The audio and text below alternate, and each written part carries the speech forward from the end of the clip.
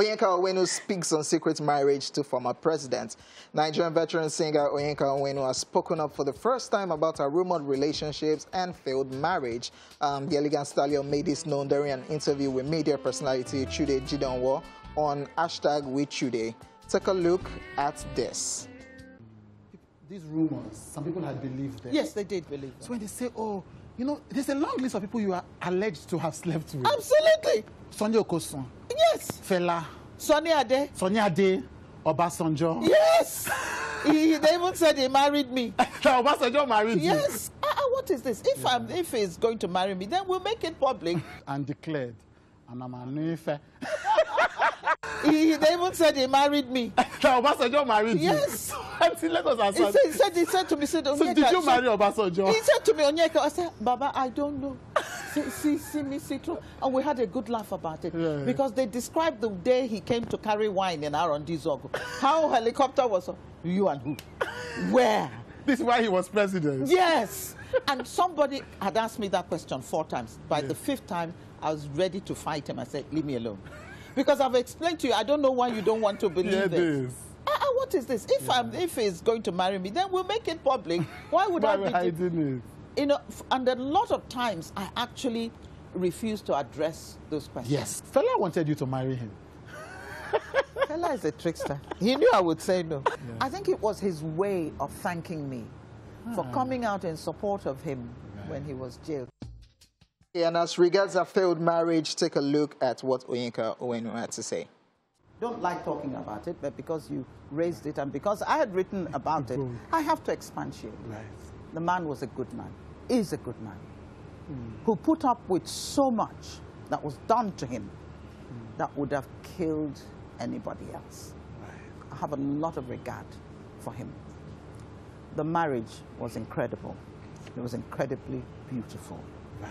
It was passionate. I mean, it was, let's not just go there. It was passionate. We were friends. Right. We were the sort of friends who could stay in the house for like a month, not step out, right. And yeah, we were preoccupied, reading paper, doing whatever. He was a very good friend. But sometimes when things happen to people, they change.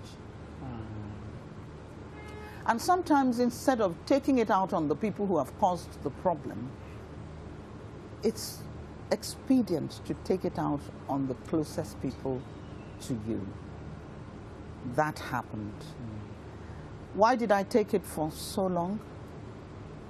Because I loved him. Mm. And I loved my children. Mm. And my children loved their father. So you make sacrifices because of the family. But there comes a time when you have to say, I've done enough of the sacrificing. And if you really care about your children, you save yourself. Because it could have, it could have killed me. Hmm. It could have killed me. Yeah, Wow. massive, massive shout out to media personality Chude Jideonwo for that particular clip. Uh, Yeah. You know- you where, know- where should we pick it from?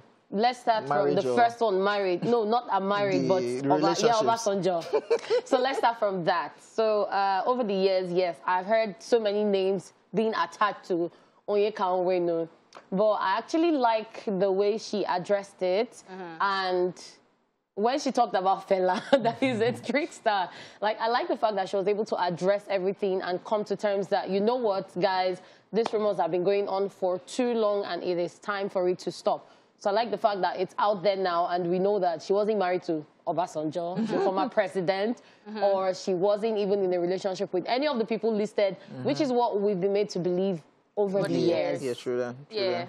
And I mean, it's a case of when you're trying to be private and you're trying to keep things to yourself, you don't want to respond, and you realize that people just attach this to you. So maybe this explains why celebrities come out to say their side of the story. So it's like, don't let anybody say my Put story or my, like, let me say my story for myself, basically. Um, as regards her failed marriage to her husband, Yeah. I think it's just incredibly sad to actually hear that, you know, these people were friends and she loved each other. You know, we always talk about what's going on with marriages nowadays Word. and learning that there's some things that you know, you just feel like you can't cope with anymore. And just that honesty is just refreshing for, for us to hear it from her Mm-hmm. Yeah. own mouth and to learn from it. So because because a uh, yeah, our relationship has been one with many speculations. People, ask, is Onyeka married? No, she's married with children. She, well, Mm-hmm. her, her- her life is private.